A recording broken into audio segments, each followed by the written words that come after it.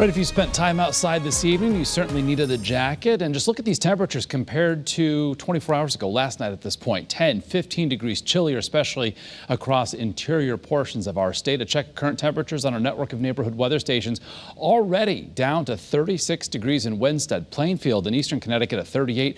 Holding into the 40s right now, 44 East Hartford, West Haven currently at 46 degrees. Uh, so we've got a mainly clear sky, some scattered high clouds, but the winds have gone calm. So conditions coming together for pretty decent radiational cooling, at least for the time being. So the temperatures will continue to drop a bit more. So certainly a much colder night on tap compared to last night. And there you can see off to our west, some of those high clouds working in our direction over the past couple of hours. So as we make our way through the overnight time frame, outside of those clouds will be mainly clear. Tomorrow, some filtered sun in the morning, otherwise becoming partly to mostly cloud as we head toward our Thursday evening commute. So tomorrow is going to be a dry day, one that features chillier temperatures for sure. Mid 30s uh, to start, at or below freezing, in fact, uh, early in the day across inland Connecticut.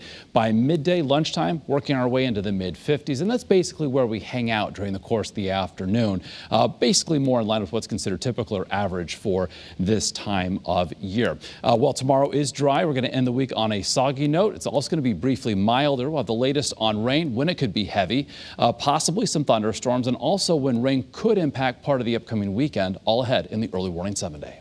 Mark, thank you very much. We'll see you soon.